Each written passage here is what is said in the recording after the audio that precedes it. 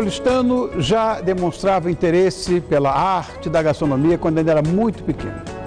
Na adolescência, ele passou a maior parte do tempo dentro do restaurante de sua mãe. E ainda indeciso em relação à profissão, iniciou os cursos de administração e de publicidade. Mas ele sabia que seu destino estava meio voltado para a gastronomia. Então, com garra, com dedicação, ele fez inúmeros cursos, aprimorou seu paladar, fazendo com que o requinte e a harmonização de seus pratos dessem forma a cardápios impecáveis e originais. Hoje não vai ser diferente, porque o nosso espaço gourmet do Todo Seu aqui estará impecável e original também com as criações do competente Grand Chef Anderson Peixoto.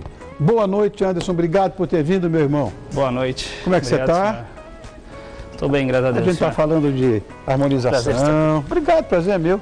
Tanta coisa boa, meu Deus, olha o place do homem. Sim. Bom, você, você co- comanda os fogões do Adeu Cuisine. Valeu, cozinha. Muito bem. As criações exclusivamente ah, finalizadas com ingredientes da nossa terra? Sim, sim. Sempre? Sempre. A gente sempre está buscando. Eu e meu sócio que está dividindo a Tá. panela comigo também todo dia lá. bonitão que está ali, né? Bonitão que tá ali, chefe de chefe. cozinha também.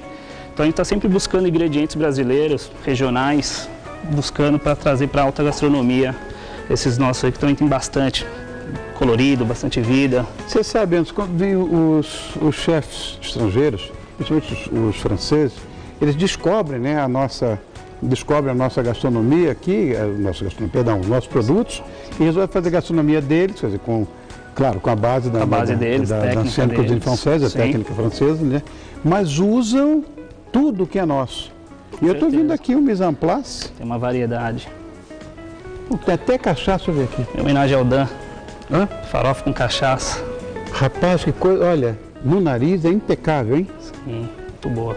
Cachaça Bom, pura. é, hoje é um must na Europa, isso fora daqui do Brasil é maravilhoso. O que, que você vai fazer com tanta coisa? Nós vamos preparar um cupim, Cupim, cupim, uma carne gordurosa, saborosa, sem dúvida.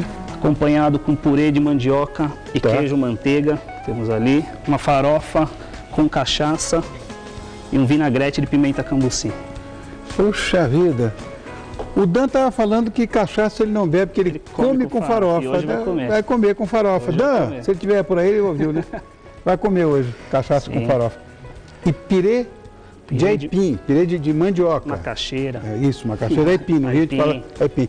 Agora, é, que bom que hoje não é de mandioquinha, todo dia de mandioquinha. Mandioca. Todo dia! Hoje é Mandioca. mandioca, que coisa boa. Bom, E temos as sobremesas também para finalizar. um brulezinho? Creme brulee, cupuaçu e o de pequi.